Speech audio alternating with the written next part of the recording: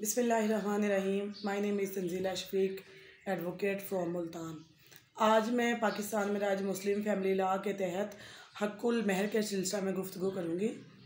हक्कुल महर जब दो पार्टीज़ आपस में रिश्तेदारी करती हैं, शादी करती हैं, जब एक मर्द और एक औरत की आपस में शादी की जाती है तो निकाह नामा में कुछ मखसूस रकम जो है वो तय की जाती है और जायदाद की सूरत में भी हो सकता है, वो पैसों की सूरत में भी, वो अमाउंट की सूरत में भी हो सकती है।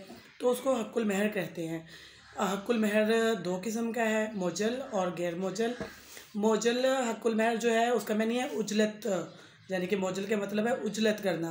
यानी कि मोजल हकुल महर जो है, वो उसी टाइम औरत को अदा कर दिया जाता है। निकाह के वक्त जब शादी होती है, जब निकाह हो जाता है तो मोजल हकुल महर उसी टाइम अदा कर दिया जाता है। और एक होता है गैर मोजल।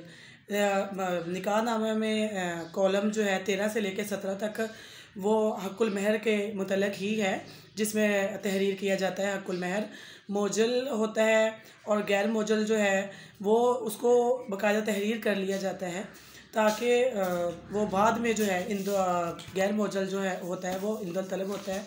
हकुल महर ताकि उसको बाद में अदा कर दिया जाए जब बीवी मांगती है।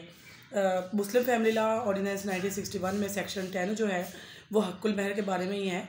उसमें ये बताया गया है कि जो रकम जो है, जो निकाह नामे में तहरीर की गई हो, लेकिन उसका ज़िक्र ना किया गया हो कि ये मौजल है या गैर मौजल है तो वो गैर मौजल, यानी कि इंदल तलब तस्वर होगी।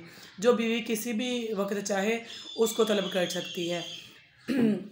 हमारे जब भी सम टाइम ऐसा होता है कि जब शादी की जाती है तो वो हक्कुल महर जो है, वो लड़के की बजाय लड़के का बाप तय करता है, वो लिखवाता है जायदाद या इस तरह का कोई भी रकम।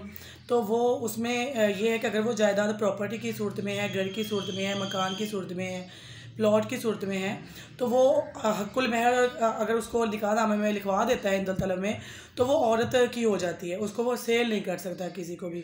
और अगर वो सेल कर देता है तो ये जायज़ नहीं है कानून में जो है, उसको जो स्टे है, वो तुलवाया भी जा सकता है, उसको चैलेंज भी किया जा सकता है, वो दोबारा से बीवी के नाम, बीवी उसको अपने नाम मुंतकिल करवा सकती है उस जायदाद को क्योंकि वो गैर कानूनी है।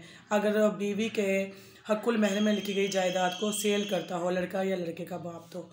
इसी तरह जो है इंदुल तलब हकुल महर होता है, वो बेशक जायदाद हो, घर हो, मकान हो, या पैसे हों तो वो बीवी जब चाहे उसको तलब कर सकती है, अपने हस्बैंड से कह सकती है कि मुझे ये अदा करो, या अदा उसको फिर प्रॉपर तरीके से अदा कर दिया जाता है। बाकी इसमें ऐसा होता है कि सम टाइम शादी जो है वो नहीं रहती है, तलाक वाक़ हो जाती है या बीवी खुला ले लेती है तो उसमें कुछ तरमीम है खुलाक की सूरत में औरत को जो कुल महर दिया गया होता है उसमें उसको थोड़ा सा वाक़, जो नई तरमीम है उसमें उसको थोड़ा सा चेंज करना पड़ता है थोड़ा सा उसको वापस करना पड़ता है और जब मर्द जो है वो ख़ुद औरत को तलाक देता है तो उसको हकुल महर पूरा अदा करना पड़ता है। निकाह नामा में कॉलम कॉलम नंबर तेरह से लेकर सत्रह तक हकुल महर के कॉलम है, उसमें लिखा जाता है कि कहाँ पे कितना अदा किया गया है, कितना लिखा गया है और कितना इंदुल तलब जो है, वो लिखा गया है।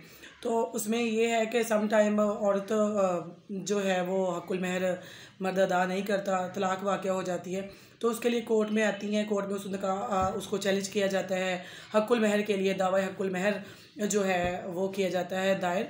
तो कोर्ट्स जो है, फैमिली कोर्ट में दायर किया जाता है ये दावा। कोर्ट्स उसमें जितना हकुल महर औरत का हो, उसको दिलवाती है, उसको दिलवाती है। ये कोर्ट का काम है ये कोर्ट का काम है और थ्रू एक प्रोसीजर है इसका।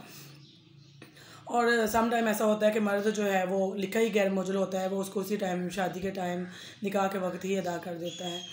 और उसमें ये है कि शादी के बाद बीवी जो है, वो हस्बैंड के तुर्का में भी हिस्सेदार बन जाती है। और खुदा ना खासा अगर हस्बैंड फौत फौत हो जाए, या उसकी डेथ हो जाए तो उसका बीवी को उसका आठवां हिस्सा जो है वो दिया जाता है। बाकी जायदाद जो है उसमें भी हिस्सा दिया जाता है, निकाल के, बच्चे अगर हों, उनका हिस्सा निकाल के, या दूसरा जो भी उसका तरीकाकार है कि कितनी, पहले ये देखा जाता है कि कितनी जायदाद है। उसमें फिर उसको उसी तरह से वो किया जाता है, बीवी में और बच्चों में तकसीम किया जाता है। Thank you